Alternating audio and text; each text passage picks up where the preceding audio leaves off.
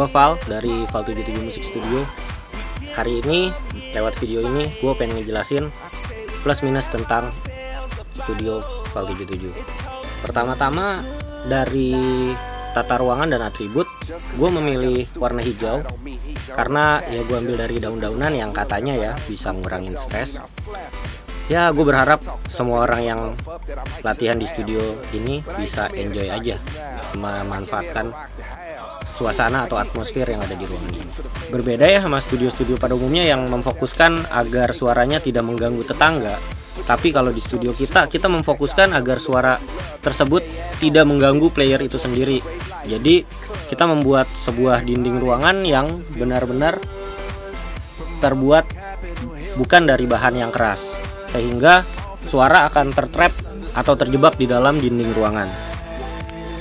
Sebenarnya cukup enak ya dan nyaman untuk berlatih di studio kita jika semua setup alatnya sesuai dengan yang diperlukan. Berbeda ya sama studio kebanyakan yang hanya menyediakan dua jenis suara, clean dan distorsi.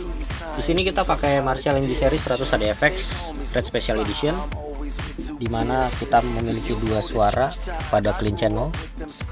Jika ditekan akan keluar suara crunch, jika dilepas akan keluar suara clean. Dan jika kita ingin mengaktifkan overdrive kita hanya perlu memencet foot switch maka tombol merah akan menyala. Dan kita memiliki dua jenis overdrive atau yang biasa kita kenal dengan distortion pada tombol ini.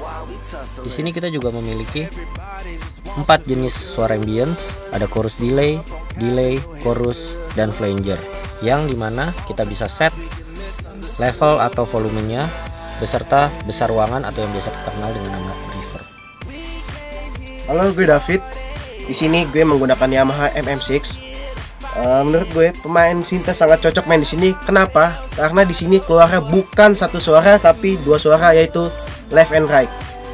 Apalagi yang suka main ambience atau sound effect. Menurut gue oke okay lah. Halo, gue Angga Tetsuya dari Killing Main Side. Uh, buat recording kali ini di studio Val 77 gue pakai Fender signature seriesnya dari Mike Don Green Day. Suaranya asik banget. Dan gue gabungin sama ampli Hardcat HA 3500 di sini lu bisa lihat uh, dia pakai dua preamp ada solid sama tube. Nah ini lu bisa setting karakternya gimana sesuai selera contohnya begini ya.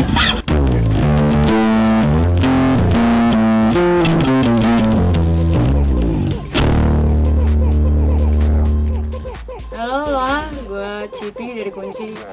Uh, sekarang gue ada di studio Val 77 dan gue mau ngejelasin kelebihan dari studio ini. Karena gue sendiri ngerasain. Uh, jadi kalau biasanya di studio-studio lain itu uh, mix mixer ada di ruang operator di sini ada di dalam studionya. Jadi kita bisa ngeset sendiri. Kayak gue vokal uh, gue jadi lebih tahu uh, apa sih maunya uh, settingan gue kayak misalnya di sini ada.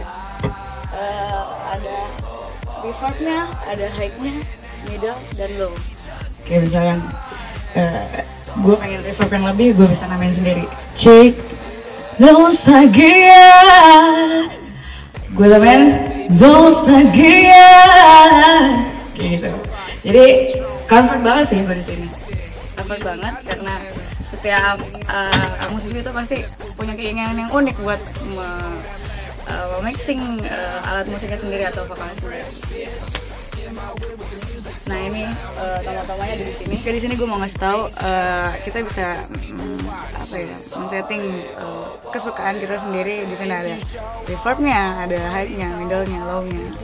Dan kita bisa sepuasnya men-setting uh, di mixer ini. Halo, gue Alvin dari tadi di sini. Uh, kita rekaman Make Damn Sure dari dari siapa sih bandnya? Taking Back Sunday di Studio Val 77. Uh, gue di sini rekaman pakai simbol pakai semuanya pakai pasty metal set. Drum pakai Yamaha Kuasa. Pedalnya pakai Pro Eliminator. Ya pokoknya semuanya alat-alat dari sini sih. Uh, mikrofonnya pakai apa ini? pakai Pediasure. ya semua sure sih. Makanya judul lagi Make Damn Sure. Terus udah. Udah. udah.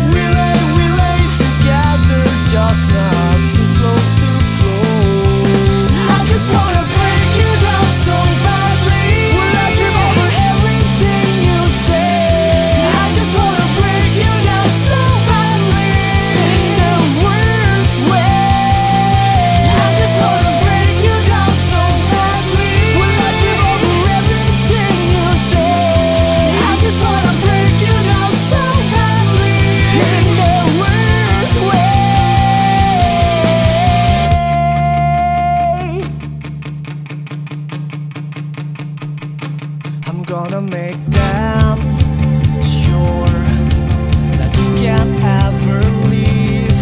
No, you won't ever get too far from me. You won't ever get too far from me. I'll make